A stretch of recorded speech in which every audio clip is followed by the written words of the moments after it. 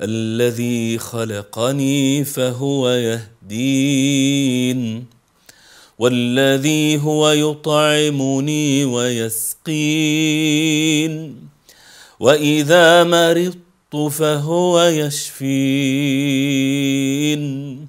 والذي يميتني ثم يحيين.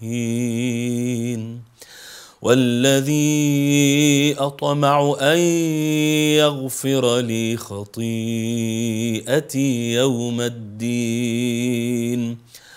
رب هب لي حكما وألحقني بالصالحين. واجعل لي لسان صدق في الآخرين. واجعلني من ورثة جنة النعيم. واغفر لأبي.